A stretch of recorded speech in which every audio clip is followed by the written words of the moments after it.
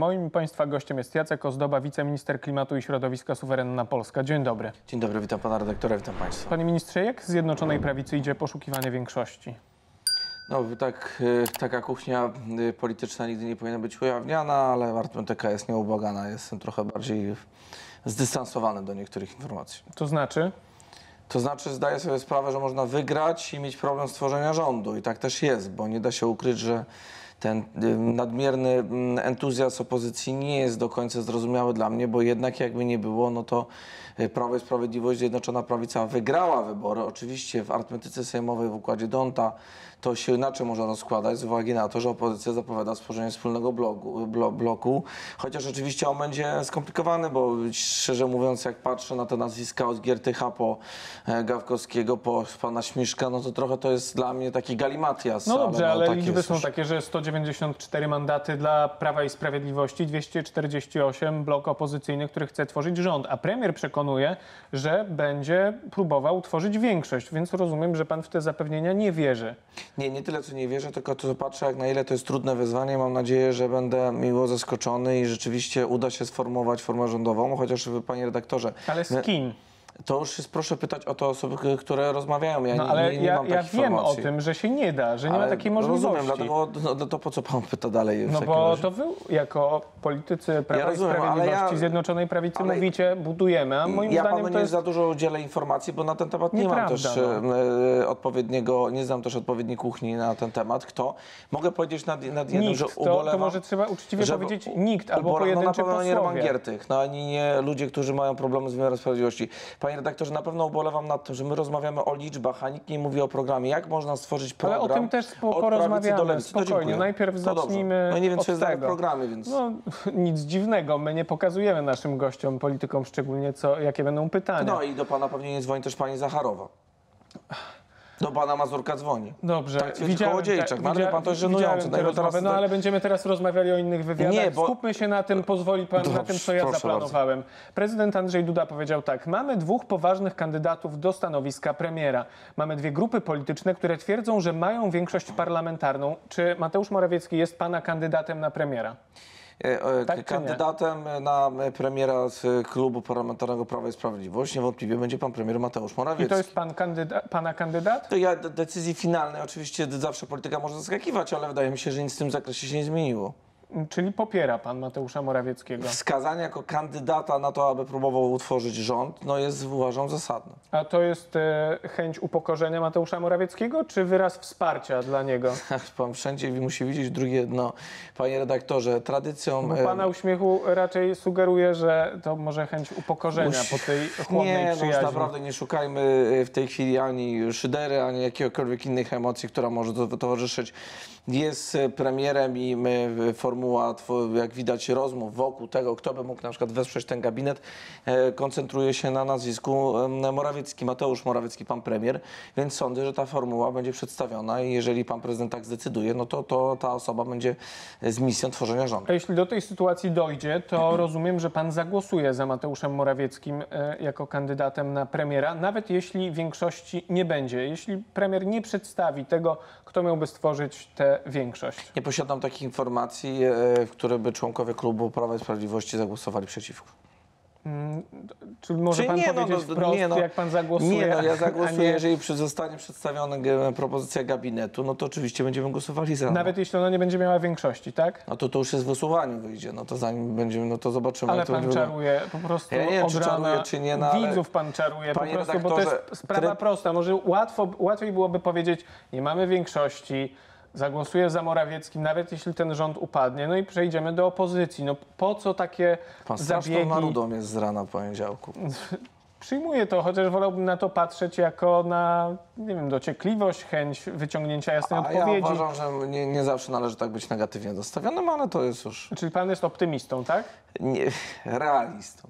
No to na Realizm czym się osadza wyraziłem. ten realizm? Realizm że Donald Tusk wyraziłem, będzie Że w premierem? tradycji, nie, w tradycji, to, to, to, to tak, ale to chociaż będzie moje rozczarowanie, to będzie tak, że rzeczywiście, że nie jestem z tego powodu zachwycony, ale podejrzewam, że jest to więcej niż prawdopodobne, no niestety, no bo jeżeli tak rzeczywiście e, okaże się być trwały, e, trwała opozycja, czy ten galimaty od prawa do lewa. się pod zdaniem e, Daniela Milewskiego, posła PiSu, doktora e, prawa, który powiedział, z- e, zadaniem PiS, jak również prezydenta Andrzeja Dudy jest niedopuszczenie do tego, by Donald Tusk został premierem. Powiedział to w Polsat News. Nie wiem, skąd wywodzi te, te zasady. Może pan wie. Panie redaktorze, zadaniem wszystkich, którzy uważają, że e, chcą e, mieć Polskę w sercu i chcą, żeby w Polsce był dobry premier, jest na pewno nie stawianie na Donalda Tuska. Ja się z nim e, kategorycznie nie zgadzam. To jest zupełnie inne podejście do uprawiania polityki niż ten, te podejście, które ja chciałbym, aby było reprezentowane. Uważam, że sformułowanie rządu z, od prawa do lewa, bez jakikolwiek programu, idei, w polityce się dla idei, dla pewnej misji, a nie tylko i wyłącznie dlatego, żeby zająć pewne stanowisko. Jeżeli komuś odpowiada pan Kołodziejczak, pan Giertych, pani Jachira, pan Śmiszek na listach, to ja stanowczo uważam, że to nie jest najlepsza formuła. No ale Polacy to, że... zdecydowali. No zdecydowali, ale to też e, nie oznacza, że e, zgadzam się z, z światopoglądem Romana Giertycha, który uważa, że Unia Europejska to jest katastrofa i że należy z niej wyjść, a ludzi o innych orientacjach należy upokarzać.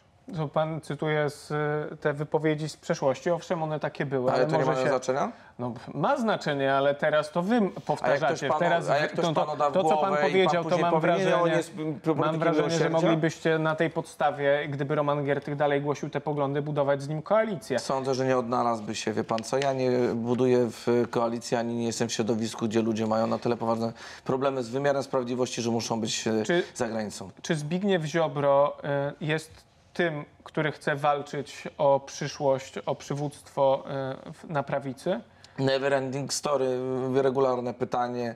Panie redaktorze, Zbigniew Ziobro jest No to osobą... chyba powinniście mieć już gotową Minister- odpowiedź. No, dlatego chcę ją e, powiedzieć, dlatego że znam pana ministra i wiem, że ideowość w polityce, program i dbałość o Polskę jest dla niego najwyższym e, tutaj m, czynnikiem, który trzyma go e, w, w świecie politycznym. Tak samo jak i trudne głosowania, które odbywaliśmy, a one nie były do końca po drodze, można powiedzieć, w, w trwaniu, w komforcie politycznym, bo wielokrotnie udowodnili, udowodniliśmy, że jako środowisko polityczne potrafimy w imię wyższych wartości, jakim jest nasz pogląd na przykład w sprawach dbałości o Polskę, zagłosować inaczej niż e, niektórzy. Ale pamięta pan, na jakie pytanie pan odpowiada? No Bo- tak, ale to jest ważne pytanie, dlatego że e, ważne. No to jaka jest odpowiedź na no, moje odpowiedź pytanie? jest bardzo prosta. No, y, dla niego, dla pana ministra nie jest ważne akurat bycie w jakimkolwiek formule, czy też lidera, czy też nie. Najważniejsze jest dbanie o ideały i znam pana ministra i nie zawsze, zresztą to też udowodniał w swoim środowisku, em, wspierając inne osoby, a nie zawsze stawiając siebie na pierwszym miejscu. Czyli rozumiem, że na przykład jeśli Mateusz Morawiecki będzie stał na czele polskiej prawicy, to Zbigniew Ziobro się podporządkuje i będzie realizował wizję polskiej prawicy Panie Mateusza redaktorze, ja jestem tak? e, członkiem ugrupowania Suwerenna Polska, a nie Prawo i Sprawiedliwość, więc kto będzie liderem Prawa i Sprawiedliwości, to zależy od wewnętrznej sprawy Prawa i Sprawiedliwości. Na razie i mam nadzieję jak najdłużej będzie liderem e, pan premier Jarosław Kaczyński, bo bez niego formuła Zjednoczonej Prawicy moim zdaniem będzie rzeczywiście niemożliwa, dlatego że wiem jakie są też poglądy w niektórych innych środowiskach niż Suwerenna Polska, w kontekście też sporu personalnego, który się wielokrotnie toczy, ale to zostawmy. Czyli co, dlaczego zostawmy? Może właśnie Dlatego, podejmijmy że to go. jest kuchnia polityczna i ja wiem, że chciałbym Ale my przecież wszyscy, ale my przecież wszyscy wiemy, że no, nie za bardzo lubicie się z premierem Morawieckim i przy każdej możliwej okazji go podgryzacie.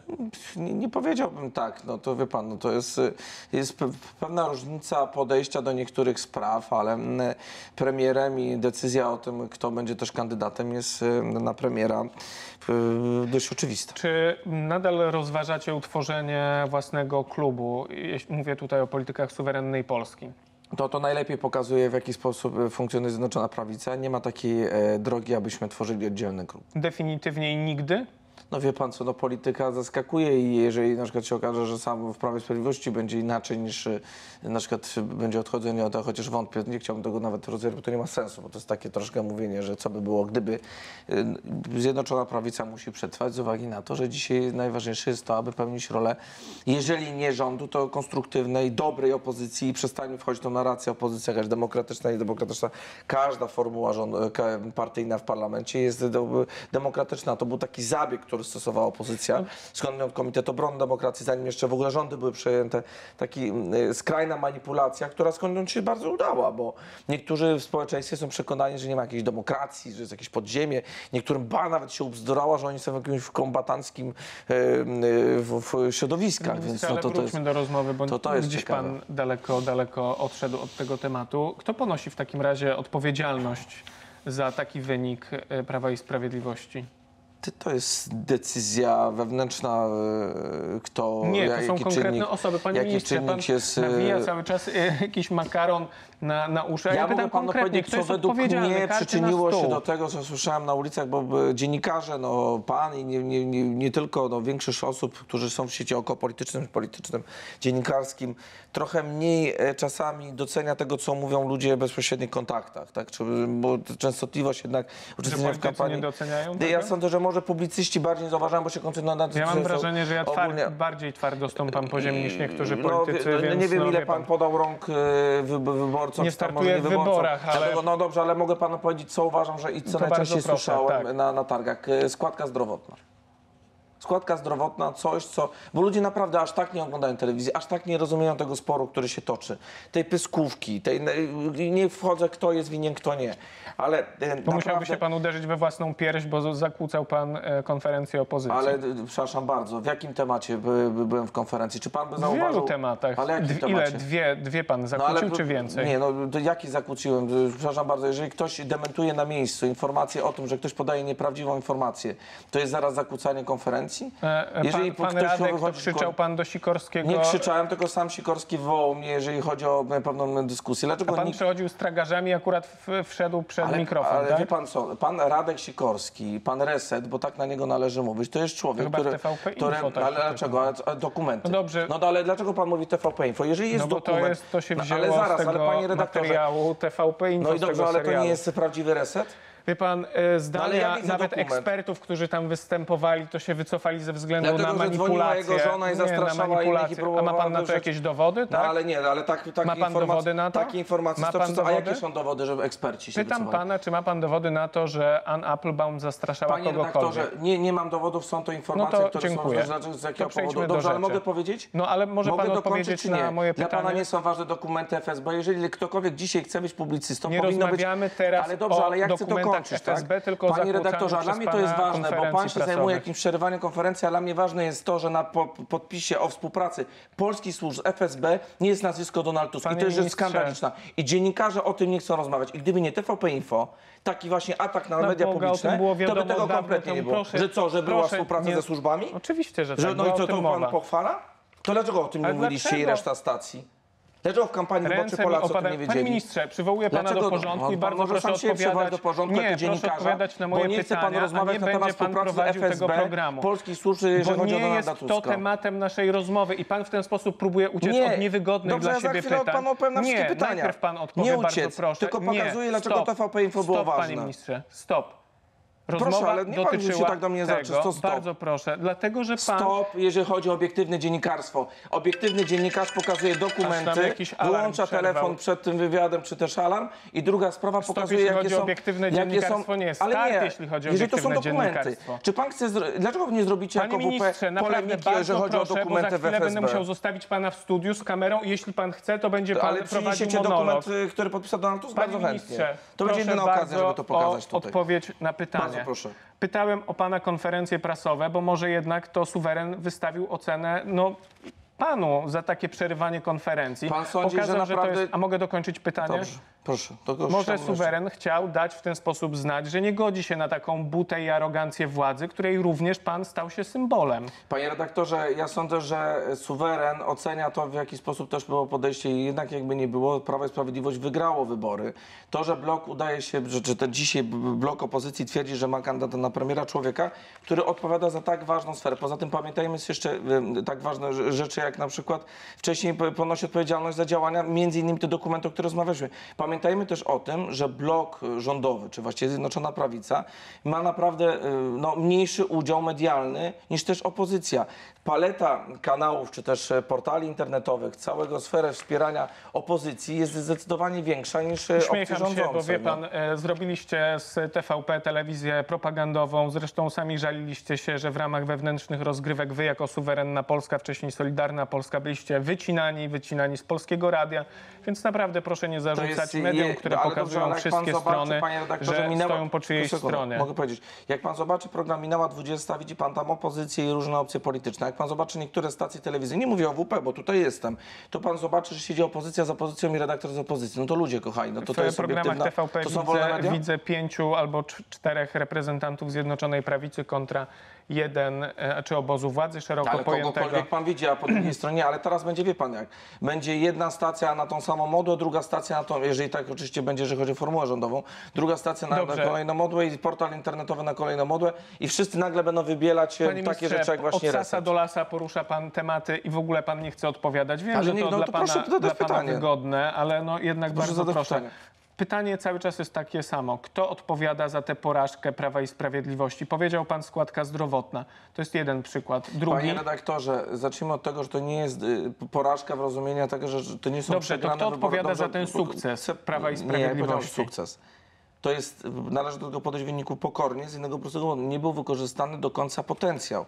Bo jakby był wykorzystany do końca potencjał, sądzę, że on był, to elementem by była samodzielna większość. I to była formuła, która No powinna dzisiaj dobrze, ale to funkcjonować. my to wiemy. To pytam, kto za to ponosi odpowiedzialność? Strategia jest oczywiście e, formułowana przez osoby, które tworzą sztab i one ocenią najlepiej, co zadziałało, co też niektóre badania. Nie chciałbym w tej chwili mówić o rozmowach, które się toczą wewnątrz obozu, bo nie Czyli wy nie macie sobie otoczone. nic do zarzucenia, tak? Nie zawsze należy mieć sobie coś do, No to do pytam, zarzucenia, bo kto konkretnie? nie pracuje, ten nie popełnia błędów. Ja sądzę, że niektóre przekazy były być może e, nie do końca zrozumiałe i na pewno przewaga medialna opozycji jest tu zauważalna i sądzę, że to jest jednak obiektywna informacja. Nie, No. to nie jest obiektywna informacja. To jest, Dlaczego? jak, No jakiś, jest no, tak, to jest no. jakiś wytrych, który e, próbuje pan w tej chwili stosować. Czyli sobie nic Czyli do pan uważa, że, że pa- partia rządząca miała większą przewagę medialną y, niż opozycja? No To, no, uważam, że w Polsce media, które są pod po, polityczną kontrolą, no to są te media rządowe, które zostały przejęte ja nie wiem, przez czy rząd. rządowe, no. czy nie, ale też pytanie o skali i oddziaływania. No tak, suwerenna Polska e, nie była czasami wycinana wewnątrz. Ja nie mówię o tym, to, to pan Więc- teraz prowadza temat do Dobrze, absurdu. a tłuste koty pomogły Prawu i Sprawiedliwości, czy nie? Mówi, I wam? Ja sądzę, że to jest w ogóle dość ciekawa formuła, szczególnie jak to mówią politycy Platformy Obywatelskiej, którzy nie przedstawiają liczb i nie pokazują swoich To ja panu kotów. przedstawię Ale nie liczbę. podobają mi się, że Michał pan... Krupiński, ponad 13 milionów zarobki w państwowych spółkach od początku rządów PiS. Bartłomiej Litwinczuk, ponad 11 milionów.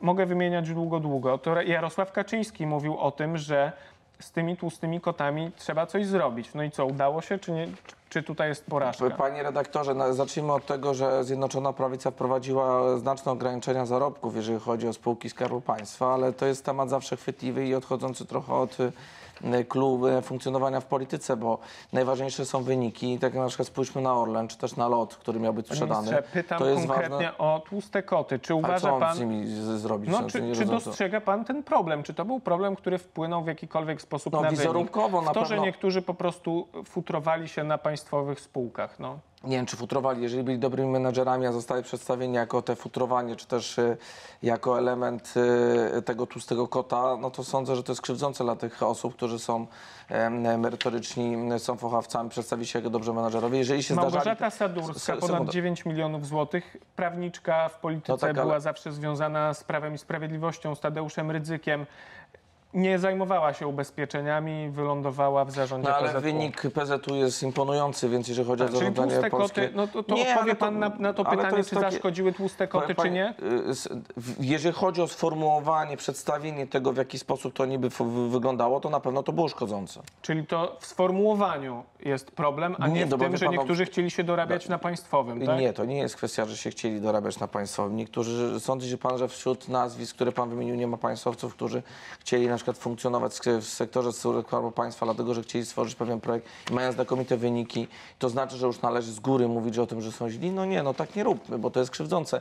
Tak samo jak i zarobki w samorządach, no w, w mieście, w którym się znajdujemy, są również dość duże, dlatego że Czy pan rynek widzi winę pracy wszędzie, a y, Nie, nie w widzę. sformułowaniach, w mieście, w platformie, w zarobkach, a wokół siebie jakoś nie za dużo tych przykładów, czyli refleksji nie ma, tak? Ja Po- mogę po- ponosić odpowiedzialność, panie redaktorze, za siebie. No ale tam też są przedstawiciele związani z so, suwerenną Polską. Nie wiem, czy są, czy nie. Bartłomiej no, to, Litwinczuk, dyrektor w grupie PZU, Ja Janusz nie- Kowalski, zresztą pana kolega. no ale przecież jest no, y, osobą, która jest w tej chwili wiceministrem, a pan mówi o, o latach, kiedy pełnił Od funkcję wiceprezesa PGNiG i prowadził to na ważny początku. spór z Gazpromem. No jest osobą, która udowodniła na liczbach, że ważne było po, akurat rekomendowanie tej osoby. No, czy tam Panie formuła nie ma pan- bycia wiceprezesem. Nie ma pan też e, takich obaw, że to, że niektórzy politycy suwerennej Polski no, często byli bohaterami na przykład takich kont jak Make Life Harder albo na koncie Michała Marszała, że to spowodowało, że staliście się takim symbolem e, polityki memowym?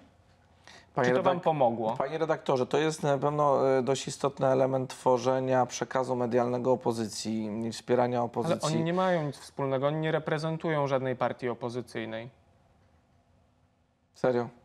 A to przepraszam, do jakiej partii zapisuje pan Make Life Harder? Do żadnej partii nie zapisuje. Mhm. Wolałbym, jeżeli tego ktoś nie widzi, to naprawdę to jest ciekawe. Widział pan kiedyś pozytywny przekaz polityka partii rządzącej na tych kanałach? Albo wyśmiewanie w taki sam sposób przy analogicznych sytuacjach polityka opozycji? Są tam również politycy opozycji. No rzadko dość. To taki przekaz podprogowy, może ktoś akurat sympatyzuje. Czasami zabawne rzeczy. Sam to obserwuję, ale nie chciałbym w tej chwili się zajmować portalem czy tam. No dobrze, ale to, to, to wam pomogło czy zaszkodziło? Nie, no na pewno e, taki, po- sądzę, panie doktorze, może inaczej. Po stronie partii rządzącej czy Zjednoczonej Prawicy liczba właśnie tego typu kont, przekazu medialnego, niektórych celebrytów, e, którzy na przykład e, są śmieszni, bo na przykład wchodzą w dzień pijani i tak dalej i są tacy e, przaśni, na pewno no, mm, po- spowodowała, że część osób, które się nie interesują w sposób tradycyjny polityką, no, mieli inny zupełnie przekaz czy odbiór e, partii rządzącej, bo tak rzeczywiście jest, no, jest mnóstwo Czyli partia aktorek, celebrytów. była dobra, przekaz był zły. I Nie, to ale Polacy ja nie, nie uważam. zrozumieli, nie, nie, tak? absolutnie nie. Panie redaktorze, było mnóstwo błędów. Bardzo dużo błędów, bo kto nie pracuje, ten nie popełnia błędów. Było na pewno, były osoby, które były aroganckie, były osoby, które y, były na pewno jakieś bo tego się nie da zrobić w tak szerokiej formule. To kto gdzie był nie ma- arogancki? Gdzie nie ma y, błędów. Ja to sobie zostawię w indywidualnych rozmowach, jeżeli chodzi o niektóre podejścia do, do niektórych tematów, ale na pewno jest ważne to, żebyśmy oceniali politykę o ideowości, czy też programy i realizacji tego, czego, co było zobowiązaniem. No dzisiaj na przykład wybór Platformy Obywatelskiej jest wyborem pana Staczewskiego, który mówi, że trzeba na polsko-białoruskiej granicy, gdzie toczy się regularna defa- wojna hybrydowa, bo tak już jest, to jest ocenione przez ekspertów, niezależnie od prawa czy do żelewa, gdzie chce stworzyć punkty recepcyjne. No ludzie kochani, no biegał z torbą, teraz recepcję pan To są jego wypowiedzi. porusza taki zakres tematów, nie odpowiadając konkretnie na pytanie, że ostatnia kwestia z e, pana ministerstwa. Proszę, żeby było precyzyjnie.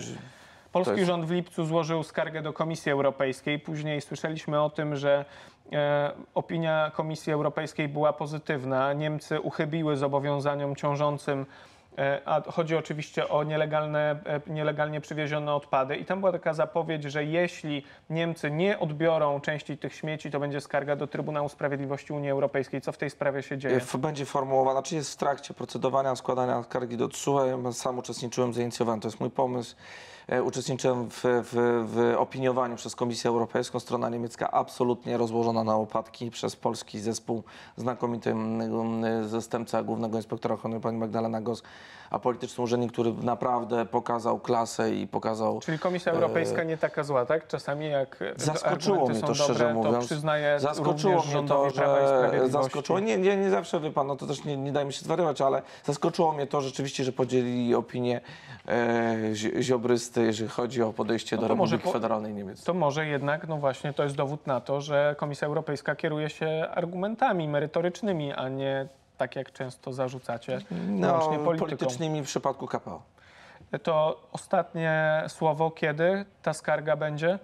Ten tydzień przyszły zdążycie? Na pewno przed zakończeniem jeszcze e, formuły starego rządu. Jacek Ozdoba, wiceminister klimatu i środowiska, suwerenna Polska. Dziękuję za tę Dziękuję rozmowę, państwu. momentami emocjonującą.